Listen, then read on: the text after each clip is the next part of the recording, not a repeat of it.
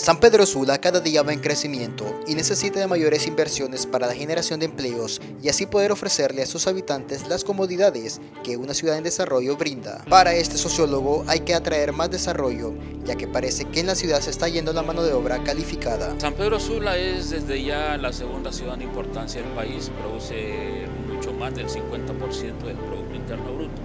Sin embargo, eso no es suficiente, es necesario actualizar eh, mecanismos de inversión y yo creo que un incentivo importante sería eh, a, través del gobierno local y el gobierno central pensar un poco en lo, digamos, en, la, las facilidades eh, iniciales para que una empresa pueda establecerse. San Pedro Sula tiene muchas empresas, pero bien podrían venir más. Y lo otro, otra forma Creo otra forma de incentivo podía ser ah, que los gobiernos, el gobierno local y el gobierno nacional pudiera hacer una ronda de visitas internacionales eh, por algunos países, alguna, alguna línea de empresas específicas que pudieran estar interesados en alguna mano de obra especializada que tenemos aquí. En tanto, el edil de la ciudad argumenta que a pesar del nuevo apoyo del gobierno central, se está trabajando en brindar oportunidades a los ciudadanos para que ellos puedan ser emprendedores y exitosos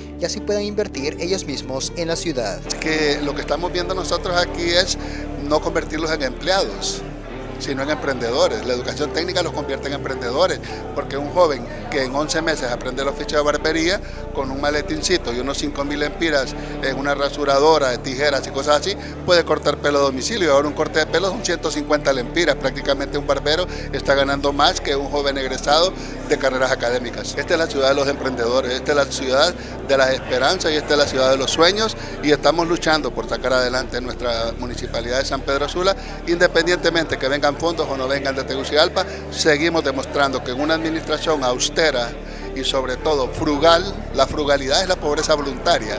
Cuando hacemos uso mejor de los recursos, podemos sacar adelante la ciudad de San Pedro Sula. Por los momentos en la ciudad están construyendo varias edificaciones que significan inversión para la generación de empleos y así brindarles oportunidades a los ciudadanos que tanto lo necesitan. Con el Open Cámara de Jorge Cadona les informó Román Paz para el Centro de Noticias GoTV.